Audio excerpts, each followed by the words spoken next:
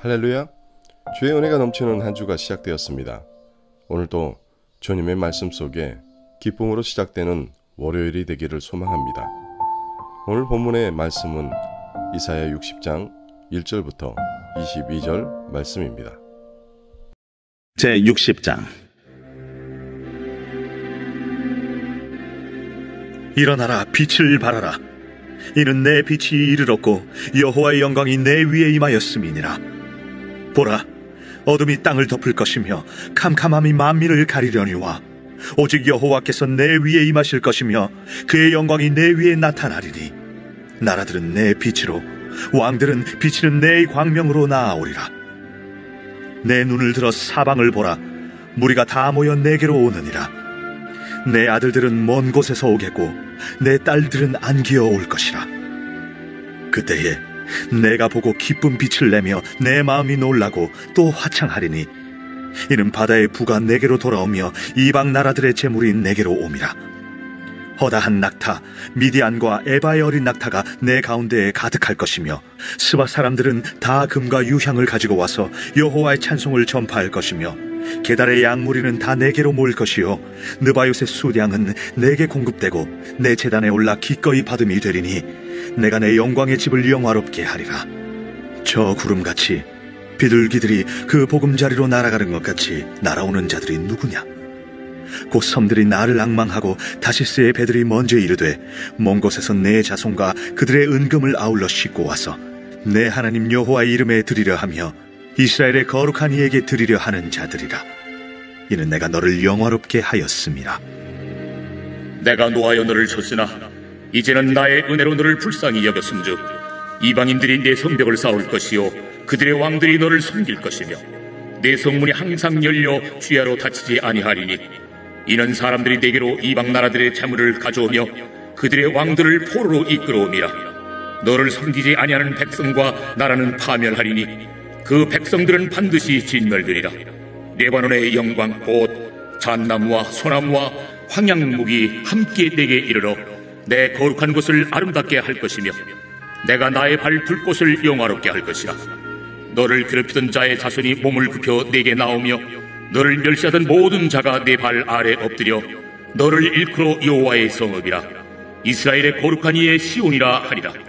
전에는 내가 버림을 당하며 미움을 당하였으므로 내게로 가는 자가 없었으나 이제는 내가 너를 영원한 아름다움과 대대의 기쁨이 되게 하리니 내가 이방 나라들의 젖을 빨며 뭇 왕의 젖을 빨고 나 여호와는 내 구원자 내 구속자 야곱의 전능자인 줄 알리라 내가 금을 가지고 노스를 대신하며 은을 가지고 철을 대신하며 노스로 나무를 대신하며 철로 돌을 대신하며 화평을 세워 관원으로 삼으며 공의를 세워 감독으로 삼으리니 다시는 강포한 일이 내 땅에 들리지 않을 것이요.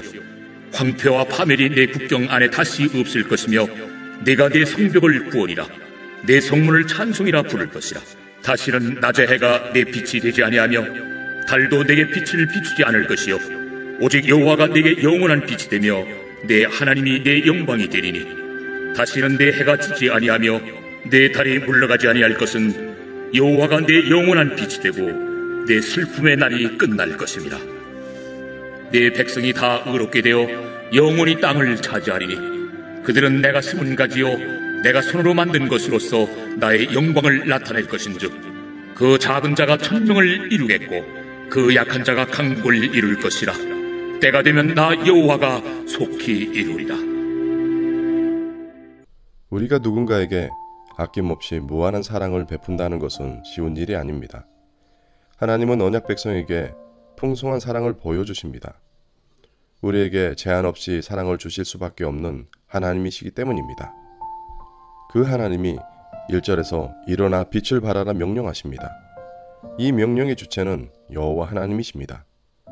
이들은 본래 빛을 발할 수 없는 상태에 처한 자들입니다. 그런데 하나님께서 당당하게 일어나 빛을 발하라 명령하십니다. 지금껏 자신들의 죄악으로 하나님의 심판 가운데 아무런 소망도 없이 지냈던 이들이 하나님께서 구원의 빛을 비추어 주실 것입니다. 2절입니다. 보라 어두움이 땅을 덮을 것이며 캄캄함이 만민을 가리려니와 오직 여호와께서 내 위에 임하실 것이며 그의 영광이 내 위에 나타나리라고 하십니다. 이것은 성도들이 일어나 빛을 발하고 또 빛을 발하라고 말씀하십니다. 하나님의 특별한 은혜로 세움받은 교회는 어두운 세상의 한 줄기 빛으로 점점 더 캄캄해져 가는 온 세상을 향하여 일어나 빛을 비추어야 합니다. 교회는 끊임없이 그리스도의 빛을 세상에 비춰야 합니다. 어둠 속에 헤매는 사람들은 이 빛으로 나오게 됩니다. 기억하십시오. 교회가 세상의 유일한 소망입니다. 그렇기에 하나님께서 세상에 교회를 세우신 목적답게 맡겨진 본분을 감당해야겠습니다. 4절부터 7절은 열방과 열왕이 세상의 유일한 희망이 교회에 나오므로 교회가 누리게 될 영광에 대하여 말씀하십니다. 하나님의 구원하심은 세상 어떤 것과도 비교할 수 없는 은혜입니다. 그렇기에 그들은 자신의 모든 것을 가지고 나오게 됩니다. 다시 말해 하나님의 허락하신 구원의 빛이 너무나 소중하기에 가장 소중한 것을 가지고 나오는 것입니다. 하나님은 우리의 영광과 찬양을 받으시기에 합당하십니다. 선지자는 장차 수많은 사람들이 예수 그리스도의 대속의 은혜로 구원의 대열에 참여할 것을 선포하십니다. 그렇게 우리의 인생은 하나님께로 돌아가기 전까진 결코 참된 안식을 누릴 수 없음을 기억하십시오. 그들은 보금자리를 향해 날아가는 비둘기처럼 그리스도에게 나올 것입니다. 예수 그리스도는 우리의 영원한 구원의 보금자리이십니다.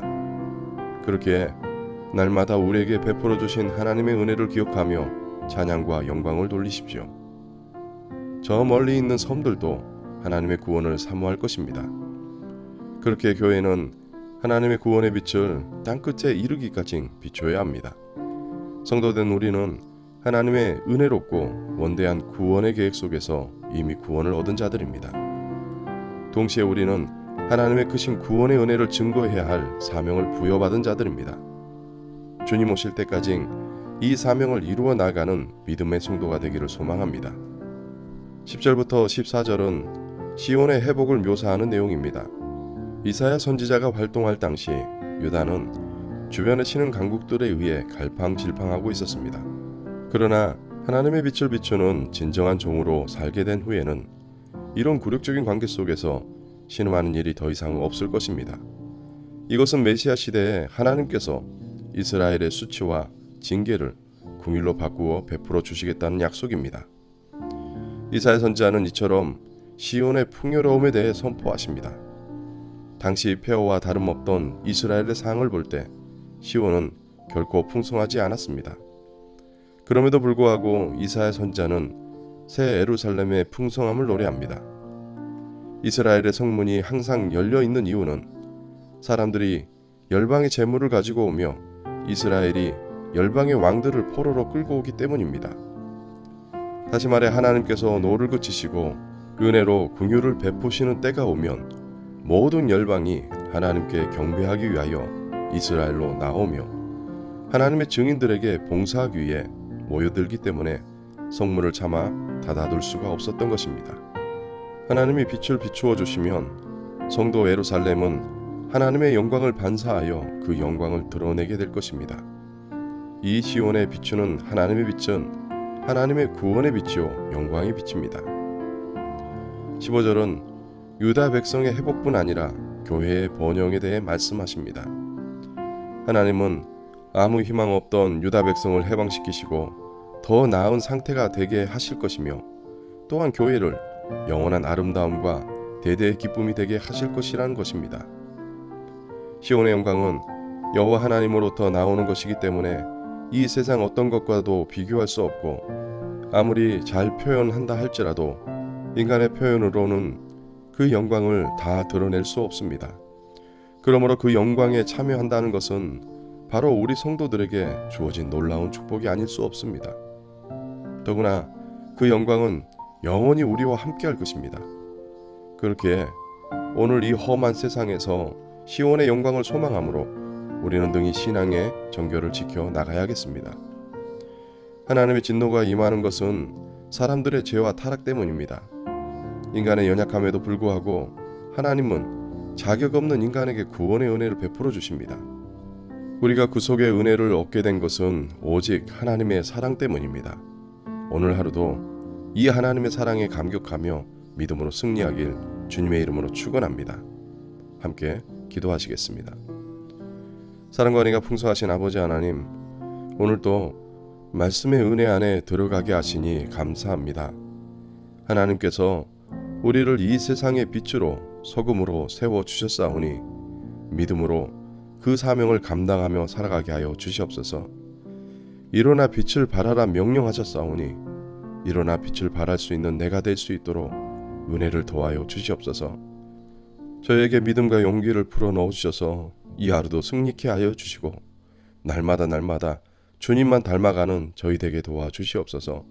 감사드리며 예수님의 이름으로 기도합니다. 아멘.